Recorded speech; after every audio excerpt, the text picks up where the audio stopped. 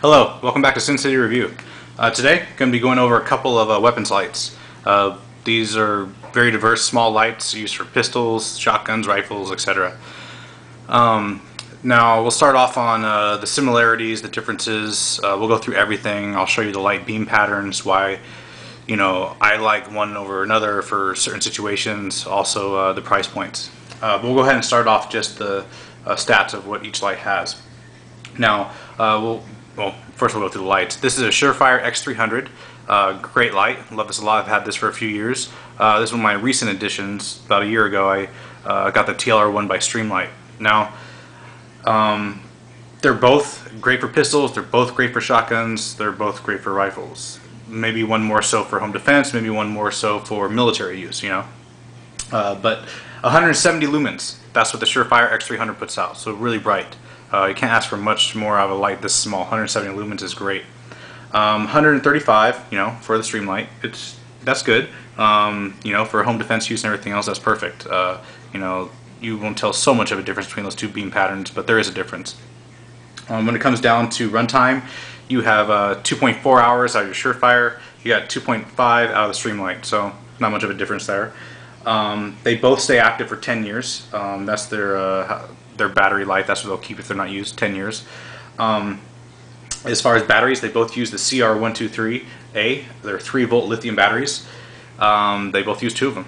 Um, and you can see they're both about the same size. Uh, I won't go over exactly the bezel diameter and like the inches and everything. You can find that out on the websites.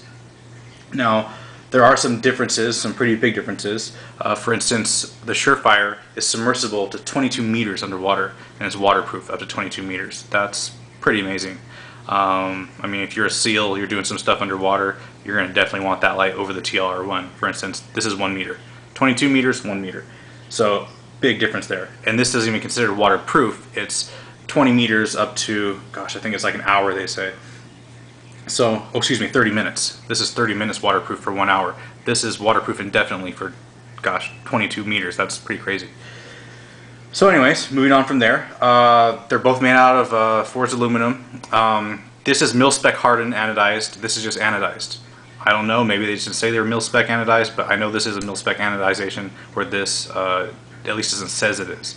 Um, so there's a difference there as well. Now, as far as uh, price, big, big difference. Uh, 250 bucks, $89. Paid 250 for this, paid 89 for this. Uh, so if you're looking for price point and you're just going to be using something around the house to, you know, use as home security, you know, on your shotgun or your pistol, just go with the TLR1. It's a great light. I mean, it's going to do everything you want to ask for it, and it's less than half the price of the Surefire.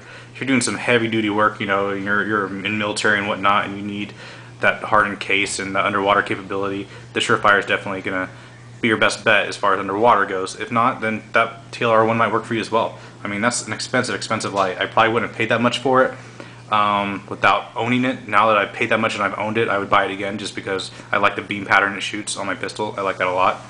Um, gives me a little more range, but uh, this is great on my shotgun for my home defense.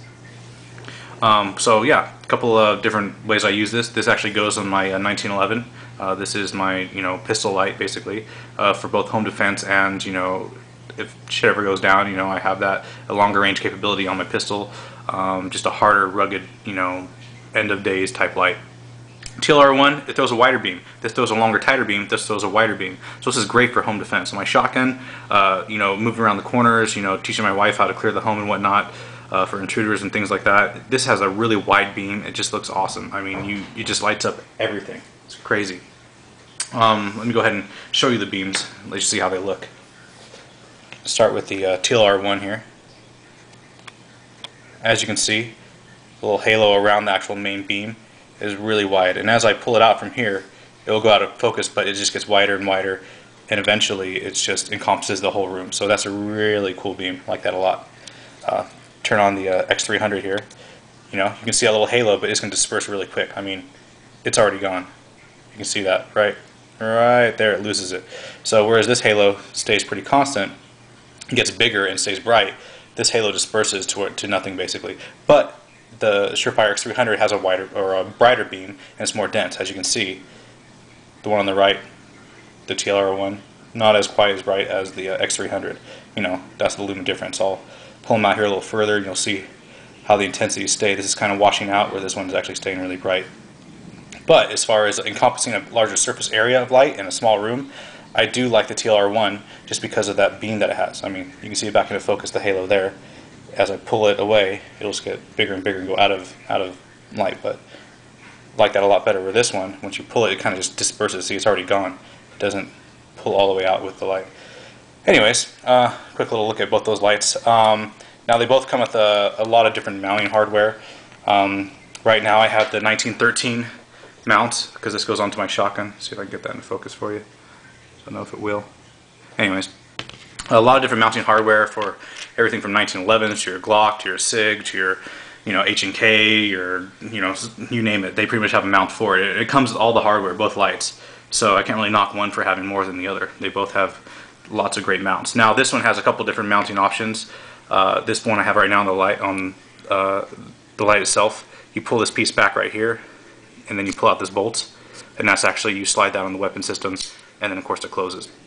Um, that's what I have on there. They have other ones that actually are like you don't use a squeeze piece. It's a or, or this pullback piece. There's a squeeze piece, and it uses like pressure on both sides to lock it in. So Surefire has a couple more mounting options as far as how it attaches to the gun. Um, the TLR one is pretty cool because you can actually see the piece as it pushes to the side. It uses this little uh, flathead, this little screw piece right here, and once you've uh, clamped it onto the gun, you twist this down with your hand and it tightens it. So that works great as well. You can also not have to put your hand in front of the muzzle of the gun, you know, to put on your light. That's what they say about this light. You just push that and you can clip it right on from underneath. This clips on where the Surefire has to slide on. Now there was a recent publication, um, gosh, it's Guns and Ammo. Uh, the Guns and Ammo, if you can get this on on video here. Uh, the Combat Arms, you know, this is one of their magazines and whatnot. Um, they're talking about, let me see if I can get this better in focus. There we go. They're talking about how different lights have different capabilities. They go through and they rate everything. I just wanted to go quickly through this because uh, they have some false things going on here, especially with the Surefire. Now, back here, they'll have all these lights. They go through gosh, a ton of them. They go through your Streamlights, your Surefires, everything. But um, one of the false things they have on here is they're talking about the ac uh, the switches and, and uh, how they wish that the Surefire X300 um, would have a momentary on switch. Well, it does. Okay. I'm not sure if that's showing up in camera, but it says uh, it would be nice to have a momentary on function instead of just a steady on. Well, it does. So I don't know where they're getting their information from or who did the research, but they suck. I mean, this is a publication through Guns and Ammo, and they don't even know that much about the light they're testing. Apparently, the person didn't test it that well. So they took it down a whole other star just because they say it doesn't have a momentary on switch. Well, that's not true because it does. I'll show you. Okay. Now, both the TLR1 and the Surefire have momentary on and steady on. Uh, for instance, right now, I'll put it steady on. That's steady on on the Streamlight. Uh, the left side, once you push it up, uh, it goes steady on. The left side, once you push it down, it's just a pulse. So as long as you hold it down, it stays on, as you see. Same thing with the right side. Up for a pulse and down for steady on. So it's just opposite. It's just a little toggle, as you can see right there. Um, Surefire, on the other hand, once you toggle it, either on the right side up, or the left side up, or right side down, or left side down, however you toggle it, it stays on. So I can see what they're saying as far as, oh, there's no momentary. Well, there is. You just pulse it. You just press it from behind. Either side, you pulse it, or press on, it goes on. So for instance, with my pistol, like I have this mounted, you just basically take your pointer finger and you pulse. You know, you pulse it on the gun. If you're left-handed, it just goes on the other side. So the whole thing about not having a momentary on switch is bullshit. I mean, I don't understand how you could be a, a professional publication and and put something in there that's completely false about a product that's as good as a Surefire. So I hope that clears up a couple things uh, on that. Um, they're both great lights. I'm not going to knock either one of them. Uh, for the price point, definitely go with the TLR1. If you have to have it for the military uses and some submersible qualities, go for the uh, Surefire. I mean, if you don't need it though, 250 compared to $89, that's you know that's a huge price difference. But I hope this uh, clarified anything you didn't know about the lights. Uh, I'll annotate or annotate anything um, you know that I did left out of the video. Um, any questions, concerns, or just want to leave any comments? Feel free as always. Hope you enjoy the video.